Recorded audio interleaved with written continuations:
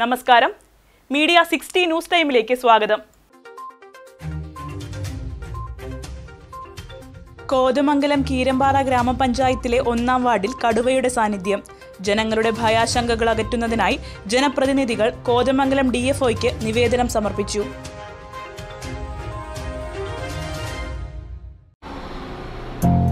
School is everything for head today because this is she first started experiencing society. Her exposure to new ideas, experiments, good friends, the classroom and their support, festive events, has blessed her enough to love life. Her happiness is today the reason for our smile too. Every parent will have a concern for their child's happiness. Martha Mariam Public School Kozhippally Kothamangalam. Keerampara panchayat ഉൾപ്പെട്ട ഭൂതത്താങ്കെട്ടിലെ കൂട്ടിക്കലിൽ കടുവയുടെ സാന്നിധ്യം സ്ഥിരീകരിച്ചു. കീരമ്പാറ പഞ്ചായത്തിലെ ഒന്നാം വാർഡിൽ ഉൾപ്പെട്ട പ്രദേശമാണ് ഇത്.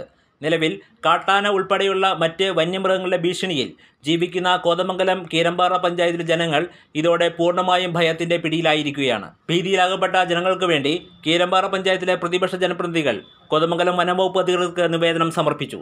നിവേദനം സ്വീകരിച്ച കോതമംഗലം ഡി എഫ് ഹനീഫ സാധ്യമായ എല്ലാവിധത്തിലുള്ള സംരക്ഷണവും ജനങ്ങൾക്ക് നൽകുമെന്ന് ഉറപ്പു നൽകി.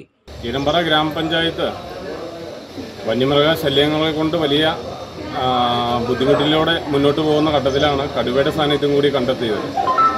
അപ്പോൾ കടുവയും കൂടി വലിയ ആക്രമണകാരിയായിട്ടുള്ള കടുവയും കൂടി വന്നിട്ടുണ്ടെങ്കിൽ അവിടുത്തെ ജനങ്ങളുടെ സ്വൈര്യ ജീവിതത്തെ നന്നായിട്ട് ബാധിക്കും.